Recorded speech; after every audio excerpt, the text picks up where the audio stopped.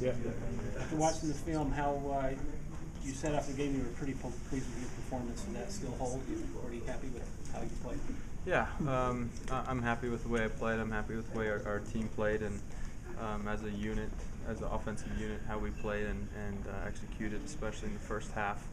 Uh, we, we definitely have some things that we can get better on, and uh, we'll, we'll focus on those going into Houston. And uh, but overall, I'm, I'm, I'm happy with the way we played, and, and ultimately uh, us getting the win. Taysom, how, how has change of pace affected you and, and maybe benefited the offense where the mantra was go hard, go fast, and you still go hard but not quite as fast? Um, yeah, I, I don't know as uh, the stats as far as how fast we were going when we first started the season and, and to where we are now, but um, I, I just feel like everybody's starting to get more comfortable with uh, the motive and uh, the game is starting to slow down uh, for me and, and for the guys around me and receivers are getting set. They know what routes they have on, on uh, each play and uh, it, it's shown on Saturday nights. Are you noticing improvement in the offensive line from game one now through game six? Yeah, for sure. Our, our offensive line has progressively gotten better from week to week, and uh, you know they're getting a lot of things thrown at them from from Utah State, where they're giving us a lot of different looks, to uh, Georgia Tech last week, giving us odd and, and even fronts, and uh, the way they changed their fronts up. So they're, they're uh, coming along really nice. I'm, I'm uh, proud and, and pleased with those guys. It's been since week one that you guys have actually left the state. Are you guys looking forward to uh, to the, the challenge of heading out on the road like this?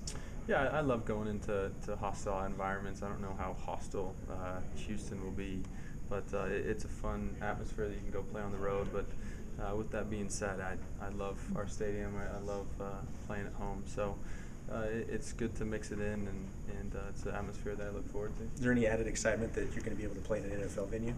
Yeah, for sure. We were talking about that today, and uh, it'll be a fun atmosphere. I'm, I'm excited to be in the stadium and uh, get a feel for that. Cody is one catch away from being the all-time completions um, leader here at BYU. Do you do you try and look for him early to get that out of the way for him, or do you just do it throughout the course of the game? Um, I'm not going to try to do anything outside myself, so I'm going to stick to my reads. I'm going to stick to my progression, and um, but we have a lot of plays drawn up for Cody, and so uh, you know he, he's going to break that easily, and uh, you know I'm, I'm happy to be here with him to, to see that happen. That, that long touchdown pass you threw to him, could you walk through where you, were you happy with where you put that ball and everything for him? It seemed like that was the one spot where only your guy could get it. Yeah, uh, of- of course I'm happy with, with where I put the football. It ended up as a touchdown, and um, uh, the reason I threw him a little further up the field is uh, we, we had a safety there that, that bit on the, the inside post, and I wanted to keep him away from it. So um, it, it ended in a touchdown. So yeah, I'm, I'm really pleased with it. You had a new center snapping the other night. Most of the snaps were good. There were a few that were a you you challenged. Uh, how's that impacted you? Is that is that a factor at all? Mhm.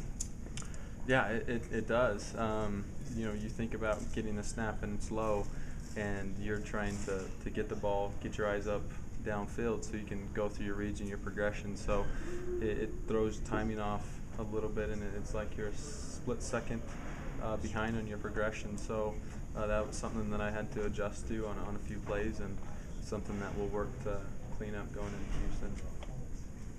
Ha- you're halfway through the season. What are you looking forward to the most, and where are you looking to improve? Um, looking at our schedule, we have a lot of really big games games coming up. Uh, it's something that we didn't really have uh, to look forward to last year, and uh, so we still have um, a lot of games left to be played, and uh, we can still make a lot of attention on the national level. And I'm, I'm looking forward to traveling and, and going and playing in uh, some some tough venues and uh, proving ourselves and and continue to get better as a team. Adam Dean is the fourth leading kickoff returner in the, in the nation, and, and the team overall is 10.